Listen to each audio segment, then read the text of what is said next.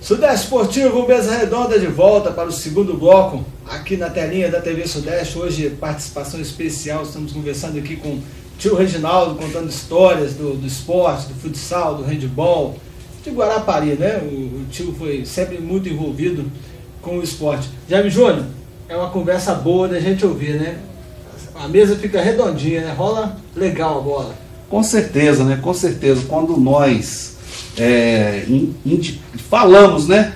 Para que nós indicássemos ele, para ele vir aqui no programa, nós já sabíamos que ia ser realmente essa mesa redondinha e com histórias maravilhosas aí.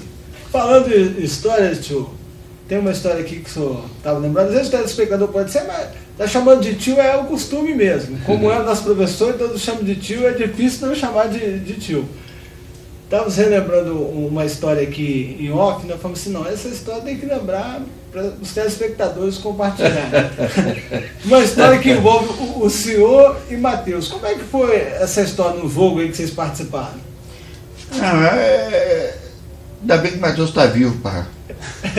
Tá todo mundo vivo, Mandinho tá vivo, tá todo mundo vivo aí. Soneco tá vivo, Luiz Pedro tá vivo, tá todo mundo vivo aí. Luiz Marques tá vivo. Luiz Marques tá vivo, Oswaldo tá vivo, tá todo mundo vivo.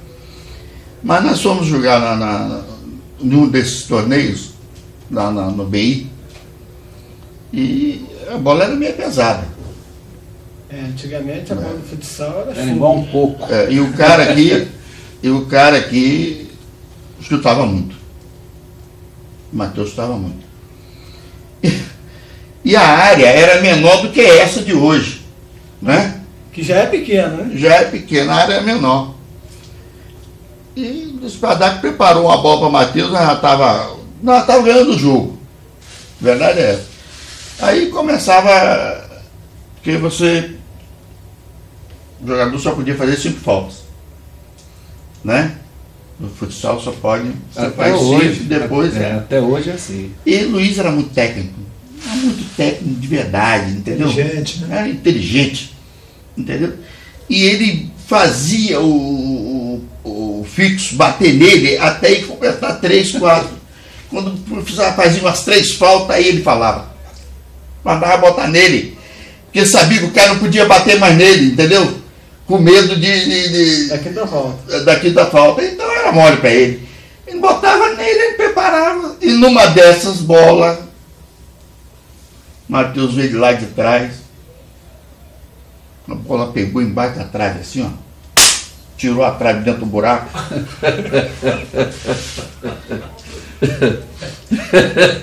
Rapaz. Parou o jogo, que o goleiro não quis mais ficar embaixo da trave de jeito nenhum. E o goleiro fez como? O goleiro. O sinal do goleiro. O sinal que o goleiro fez. Lá, cara lá, o técnico, bota sua, bota sua mãe aqui, porque eu não vou Matheus, e era assim mesmo. Ah, nós tinha fundamento, é que nós estávamos falando em off ali com o Jaime Júnior, nós tinha fundamento, nós treinávamos, né? Até meia-noite, tinha tático e técnico. Então nós treinava duas vezes tático, duas vezes técnico. Então a gente tinha muitas jogadas. Então uma dessas, e fora, fora os técnicos, fora é, os chutes a gol. É. Que quando tinha pouca gente para treinar, nós falávamos com eles, não, não, não vamos embora não. Nós vamos fazer outro fundamento aqui. É. Vamos fazer qual fundamento? Vamos rolar a bola, rolar a bola e buscar e tome cacetada. Mas era, era, três, era três, quatro bolas, né? Que você tinha que levar para lá. Que levava para lá que caía três na casa de Jorge Coelho, caía duas lá na, na, na Vitória de Senhor Será de quem. Aí você tinha que pular o muro, pular o muro para pegar, porque era, era só que pouco. Pá, batia no muro, chegava naquele, naquelas. Acho que ninguém dormia ali não. É, naqueles coqueiros, naqueles coqueiros, a bola saía rasgando tudo, pá, aí parava. Então nós tínhamos esse fundamento. Então, é aquilo que eu falei para você. Então, tudo que se faz com treinamento, é o que eu falei para o Jaime Júnior lá. Tudo que se faz com treinamento, com dedicação, se chega a algum lugar. E eu cheguei, tive a honra e o prazer imenso de estar com esse cara que me, que me ensinou tudo. Me ensinou tudo. me ensinou a ser gente, me ensinou a ser jogador, me ensinou a ser cidadão e, e colega. Hoje, para mim, é um grande amigo e pai. Ô tio, isso foi, foi uma marca da, da carreira do senhor como, como profissional é, da educação, que o senhor foi durante muitos anos na área pedagógica, 42 inclusive. anos. É, então, um pouquinho de tempo, né? Mas isso foi uma marca do senhor de formar não só talvez um, um bom atleta, um jogador que o senhor formou um monte, que disputaram aí vários campeonatos de vôlei, de handebol, mas de formar um sujeito, um, um cidadão, que hoje muitos têm muito orgulho de dizer, principalmente hoje no mundo que anda complicado e cheio de mimimi, né? E dessa forma a gente fala assim, ah não, eu estudei com o tio lá, quando precisava ele chegava junto mesmo, mas quando precisava abraçar, ele ia lá e abraçava também. Isso sempre foi uma marca do senhor. Né? É, a gente errou muito também, né? A gente não foi só certinho, não. Entendeu? A gente não sabe, mas às vezes a gente machucou um pouquinho algumas pessoas também. Eu tenho certeza disso. Né? E é um momento até para você chegar e dizer que hoje, se a gente às vezes errou, mas no sentido às vezes de acertar, querer acertar. Né? E você com 1.500 alunos, 2.000 alunos, você não pode, entendeu? Às vezes, que você, com esse monte de gente ao seu redor, e você ser responsável por essa imensidão de, de, de, de alunos, você não, não acerta tudo.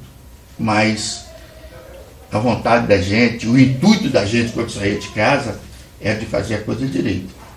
Entendeu? É de tentar levar aquele, aquele ser humano a algum lugar. E essa era a filosofia de trabalho da gente. Olha, tio, mas eu posso te garantir que mais de 90% com certeza foram formados, porque eu tenho muitos amigos né, que, como estudaram na mesma turma, ou estudou dois anos antes, ou estudou três anos antes, que a gente se encontrava na escola, e a gente vê a grande maioria aí, todos são pessoas de bem, honestas em diversas profissões, a sua grande maioria formados e acho que na maioria o senhor pode ter certeza que o senhor acertou, não tenha dúvida disso. O intuito era esse, você sabe disso. Nem, nem pai, às vezes, você sabe, nem pai, às vezes, acerta tudo. Né? Às vezes a gente quer, porque ninguém quer melhor para, para um filho do que o pai. O pai, para ele, o filho tem que ser aquela. Né? Mas às vezes a gente erra. Às vezes a gente sem querer, você entendeu? Mas, sei lá, bicho, tomara que. Mas eu queria que. Hoje eu tenho dois netos. Eu queria que os professores fizessem para os meus netos aquilo que você fez por todos nós. Aquilo que eu fiz pelos meus alunos.